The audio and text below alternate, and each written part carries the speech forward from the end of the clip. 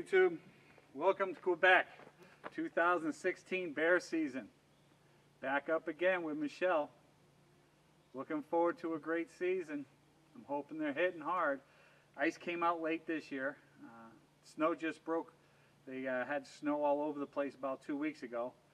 So I'm hoping that the bear are out and moving. Uh, the action looks a little slow right now, but it'll pick up as the week goes on because this is the week. When everything starts to happen from this point forward, it'll get better and better. Guys are in from New England. Uh, got a couple more guys coming up. Everybody's starting to pile in. It's the first day. Uh, time to get some licenses. Time to get everything filled out. Time to get ready to go. I'll keep you updated, YouTube.